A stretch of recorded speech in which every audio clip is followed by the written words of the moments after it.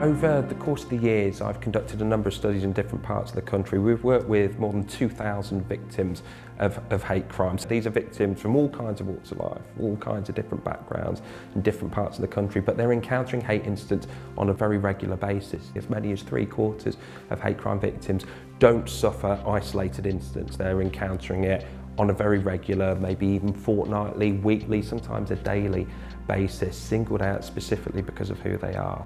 We've heard from people who've had to put up with feces being shoved through their letterboxes, people who've had their front doors spray painted with graffiti.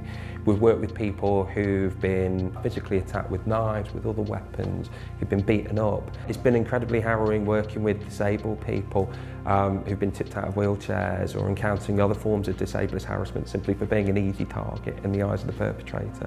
These are problems that often aren't shared with the police or other agencies and victims are often suffering in silence. Well, we know that hate crimes don't occur in a vacuum, but they arise because of underlying prejudices and we see those underlying prejudices at, at the fore in the context of certain headlines and on, in certain newspapers. So naturally, if we pick up newspapers which on a daily basis are stereotyping and increasing our sense of resentment and anger towards certain people, there will be a rise in hate crime because those prejudices, that sensationalism, that stereotyping, that anger, that resentment, it feeds that toxic climate that gives rise to hate.